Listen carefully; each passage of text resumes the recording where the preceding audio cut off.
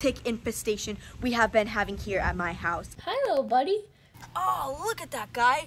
That is so disgusting.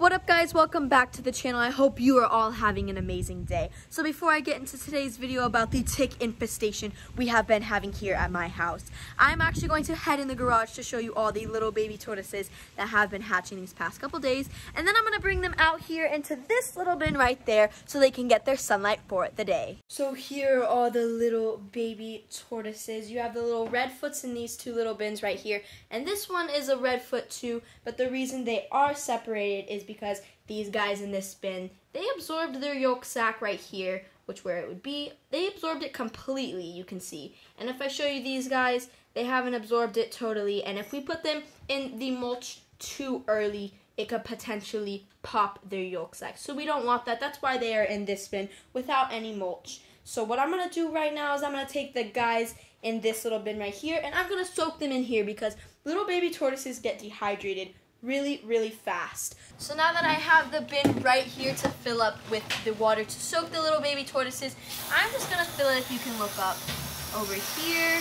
I'm not gonna fill it too much because obviously we don't wanna drown these little baby tortoises, but I'm gonna fill it up so you know where they can walk around and you know drink some water and absorb it. So I think, you know, this is a pretty good height for the water. So now what I'm gonna do is I'm gonna take this inside the garage and we are gonna place the little baby tortoises in here.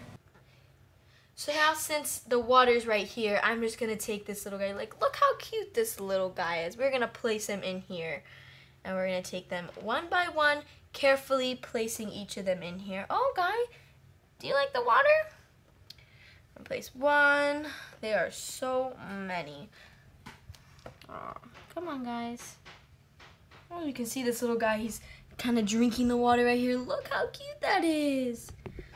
How adorable. There you go, little buddy. So cute. And the last one is going in right now. Just look how cute these little guys are. They are so adorable. They are so, so tiny. Now when these guys hatch out of their egg, you can see that the shell is a little deformed. Now that is because he is still growing into his shell and he will eventually fill out you know, like this little guy right here. This guy was the first redfoot that actually hatched. So he's all filled out of his shell and he's looking so cute. So I'm just gonna add the rest of the little redfoots to the water to soak up. Now my favorite redfoot out of all of them has to be this little guy right here. Now look how beautiful the color, the red color on his legs and his face. And just look at his shell compared to the darker redfoot. Now he is just gonna be one beautiful little tortoise. Hi little buddy.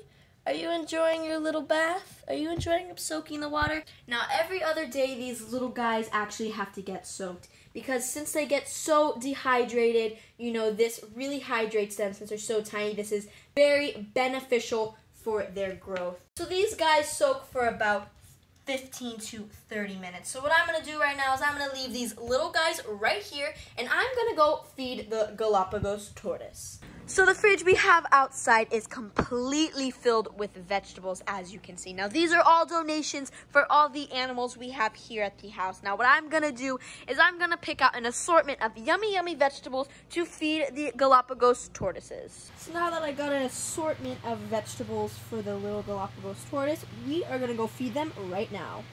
Hey, little buddy. So I'm actually going to feed this guy so you guys can see if we can spot any ticks. So I'm just gonna grab a couple things right here. Hey little buddy, oh you hungry? Come on, your food's right there. My finger's not your food. There you go, buddy. I don't know if you guys can see right there, but you can see a big fat tick right there. Oh, okay, it's okay. I'll let you eat. Now we're gonna feed this big guy right here. You can already see that I have, you know, all the vegetables. He's already coming out. But if you look around his neck, I don't see any ticks, so I think he's good to go. We're not going to have to flip this big guy today. But here, here, buddy, enjoy your food. Now that these little baby tortoises are all done soaking up all the water, I brought them out here so I can transfer them into this little bin so they can get their vitamin D for the day. Now this is very necessary for their growth because if they don't get enough sunlight, they can get what's called metabolic bone disease. This actually causes spongy shells and it can cause them not to walk. So obviously we do not want that, so we're to get these guys in here and enjoying the sunlight for today. Now since we got these little guys in here, I'm to put the hose on mist and I'm just to mist them down a little bit because if we don't mist them down, we can't keep the humidity up. Now the humidity is also really beneficial for their growth because if not, they can get what is called a pyramid shell. Right now they obviously don't have that is completely flat because that is not a problem. A pyramid shell will actually cause this part of their shell right here to actually be raised up. So now what I'm going to do is I'm going to put the lid on right here so no predators get them like raccoons or foxes or even possums in the neighborhood. And then I'm going to take this little wood piece right here and I'm going to place it on one side so these little babies don't overheat and they can get some shade. So now while the little baby tortoise is eating his vegetables right now, I'm going to run inside and I'm going to grab a little dish of alcohol and tweezers so we can kill these ticks. Now I have the little cup right here to put the alcohol in, I'm just going to put a little bit in, you know, to, you know, kill these ticks. That should be about good. Now I have the tweezer here and I'm going to take this and let's go kill some ticks.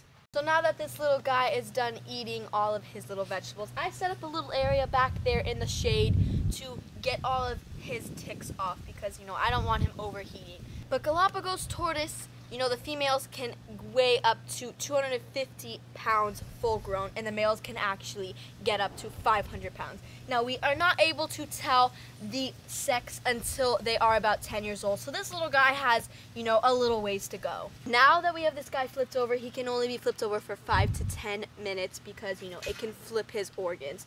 So if you look over here, come guys, look closer. He has a million little baby ticks everywhere. So we're gonna have to get that off, you know, without him freaking out. Come on, guy, it's okay. Oh my gosh, they're all over his leg. This is so disgusting. Let me get this. Oh my gosh. He's, he's fighting me. Ah, I got the first one, guys. Put, put in alcohol. That is so disgusting. Let me get this one right here. Ew. Oh, look at that. Ooh. That is so disgusting. He has a little baby right here. Come on, guy, I'm only trying to help you. Ew. That is so gross. There's a big guy right here. Look at that. Oh, look at that guy. That is so disgusting. Oh, poor guy. There are so many little ticks on him. Let's get this one. Oh, I'm sorry, guy. I'm just trying to help you. Ooh, he is not liking me doing this right now. So we got most off the front, but now we're gonna try to get his leg extended. If you can see, he has literally a million babies. Come on, buddy, I'm just trying to help you. Do you see that, guys? There are so many babies in there, and especially on this side too. So what I'm gonna have to do now is I'm gonna just grab this little baby right here. Oh, stuck on here so good. Look how disgusting that is. That's going in the alcohol.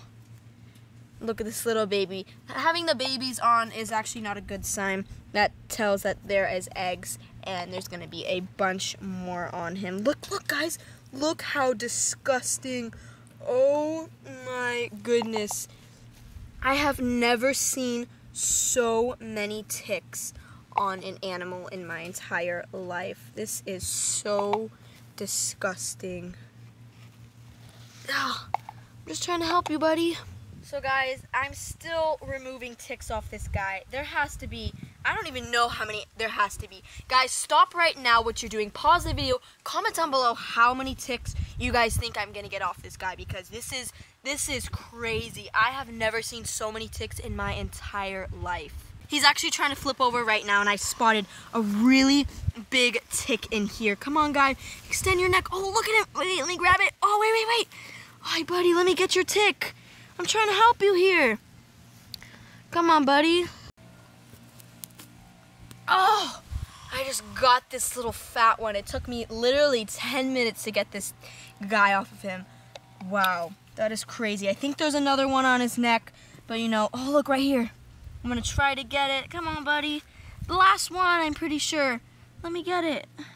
So now that I got most all the ticks off of this little guy, I'm gonna place him back in his enclosure in a minute. But before I do that, I wanna show you guys how many ticks we got off. Look how many. That has to be literally over 50. That is so crazy. I have never gotten so many ticks off an animal before. But if you enjoyed today's video, comment down below what you thought of this tick removal. Give this video a big thumbs up and subscribe to the first link down below if you want to see more animal videos.